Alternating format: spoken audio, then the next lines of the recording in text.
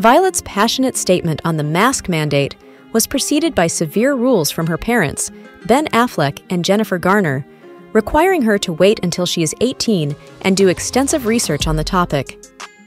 Earlier this week, Violet made an emotional plea to the Los Angeles County governing body, detailing her experience of developing a post viral condition in 2019.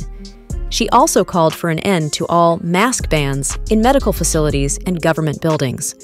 The adolescent stayed silent while growing up in the public eye, but he allegedly made the decision to do so in order to allay persistent rumors about his mask wearing habit and charges of hypochondria.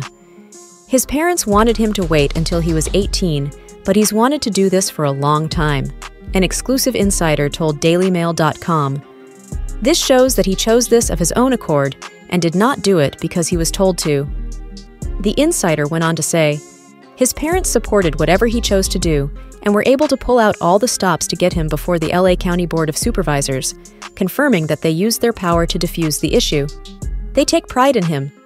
Violet stressed the council must face the extended COVID crisis by reinforcing pandemic era safeguards at government buildings and hospitals, drawing on her personal experience of developing a post virus condition. According to a second person with direct knowledge of the matter, Ben and Jennifer have made a significant effort as co parents to teach their kids to stand up for what they believe is right.